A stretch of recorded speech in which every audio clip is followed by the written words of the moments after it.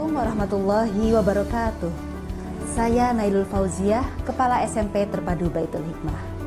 SMP Terpadu Baitul Hikmah merupakan salah satu unit pendidikan di Pondok Pesantren Baitul Hikmah yang memiliki visi teguh dalam imtak dan maju dalam ibad.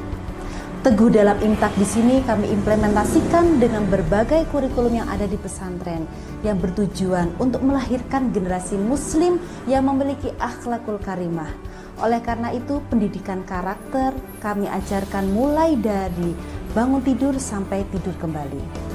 Untuk kemajuan iptek, kami memberikan materi-materi tentang pengembangan multimedia, tentang desain grafis dan sebagainya yang mereka dapatkan untuk memenuhi tuntutan abad 21 yakni generasi yang maju, modern, dan mengikuti perkembangan teknologi yang ada pada zaman sekarang ini.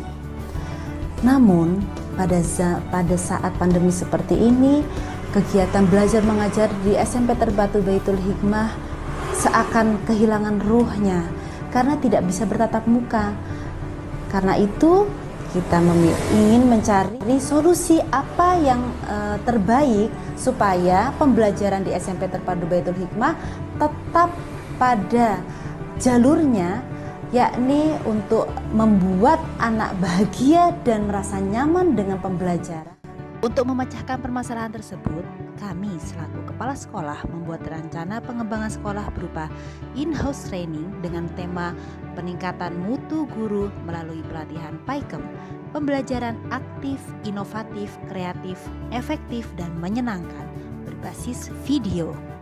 Langkah pertama yang dilakukan adalah melakukan koordinasi dengan komite sekolah dan yayasan dengan pengajuan dokumen seperti yang tersusun pada tugas 08 yakni matriks penyusunan RPS.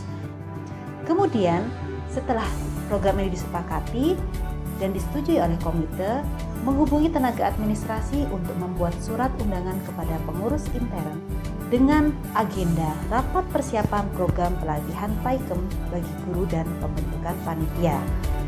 Undangan ini kemudian disebar lewat grup WhatsApp Dapur SMP Terpadu Baitul Hikmah.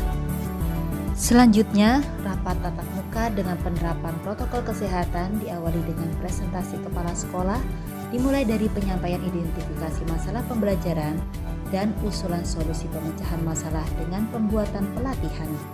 Dilanjut dengan diskusi penyusunan program, menentukan tema pelatihan, penentuan panitia, waktu dan tempat pelaksanaan, narasumber yang diundang, penyusunan panduan pelaksanaan, dan sebagainya.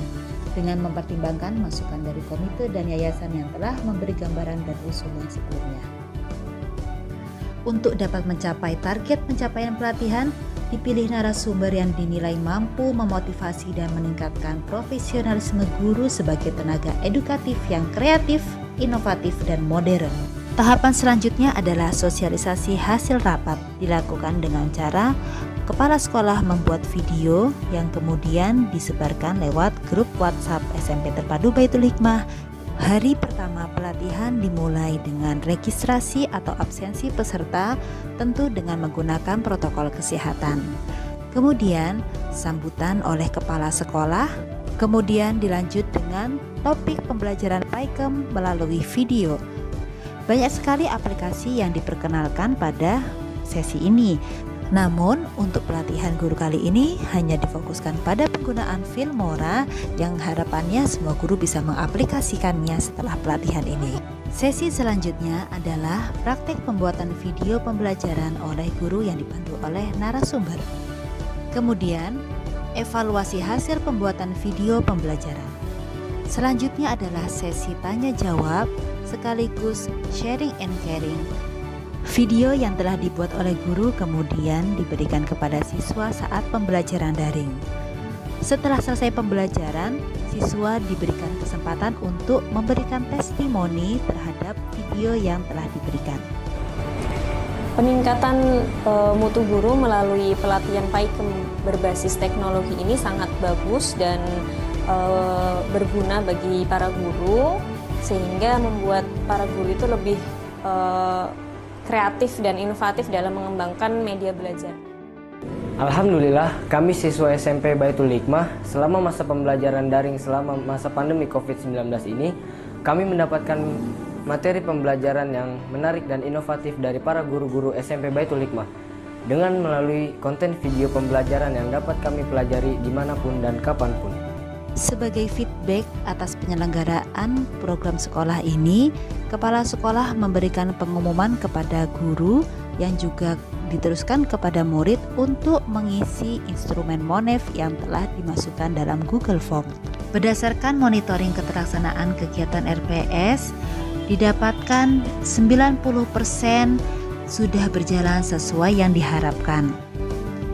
Berdasarkan evaluasi peningkatan kompetensi kepala sekolah berdasarkan AKPK, kepala sekolah sudah mulai memahami dalam kompetensi manajerial, kewirausahaan, supervisi, kompetensi sosial, dan kompetensi kepribadian sebesar 88%. Pada poin evaluasi hasil kegiatan RPS atau program, keberhasilan guru mencapai poin 3 berdasarkan hasil pencapaian student well-being didapatkan angka 92%. Kesimpulannya, dengan adanya pelatihan ini, guru dapat mempersiapkan media pembelajaran yang lebih bervariatif sehingga peserta didik semakin lebih aktif dan bersemangat mengikuti kegiatan belajar. Demikian yang bisa kami sampaikan, semoga apa yang kami berikan bermanfaat dan jangan lupa untuk selalu mendoakan peserta didik. Terima kasih. Assalamualaikum warahmatullahi wabarakatuh.